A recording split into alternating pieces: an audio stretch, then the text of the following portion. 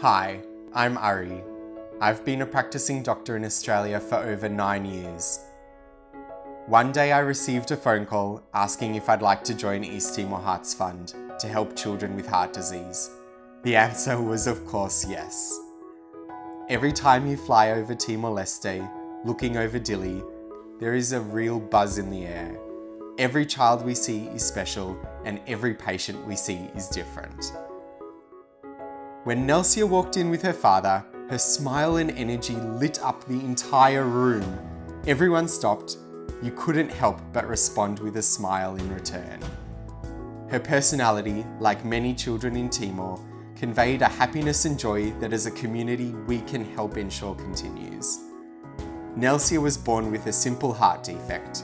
What Nelsia had is really common, and in countries like Australia, we're able to identify it early and treat it easily.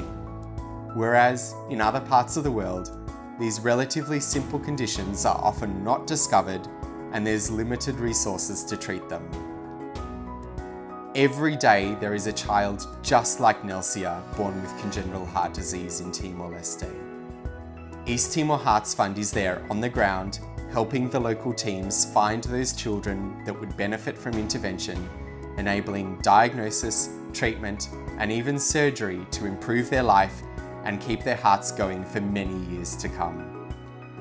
We have this incredible opportunity to make a real difference, improving the quality of life of the children, mothers and fathers of Timor-Leste, one of our closest neighbours. Together, we can mend broken hearts.